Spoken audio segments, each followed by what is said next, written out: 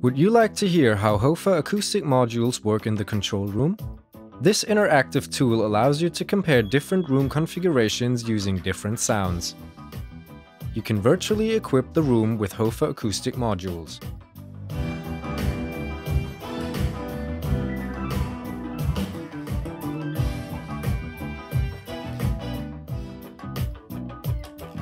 And that's how it works. Click on one of the icons to select the desired sound.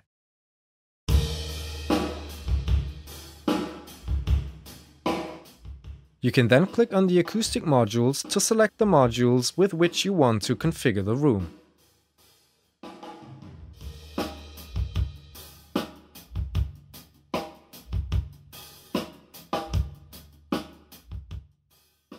You can now hear how a drum kit sounds in the control room if it's equipped with absorbers and bass traps.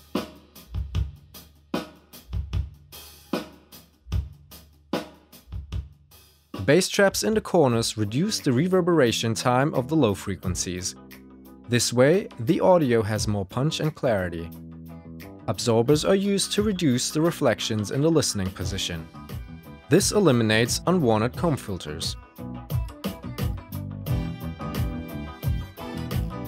The claves are an interesting example. They move from left to right in the stereo field. As you can hear in this specific sound example, the acoustic optimization improves the stereo localization. And now you hear the claves in a room without HOFA acoustic modules.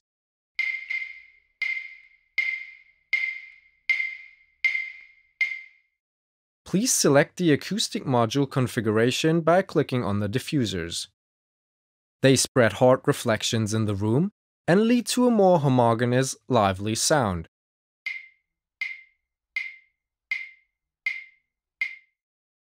You can now add additional absorbers and bass traps, for instance.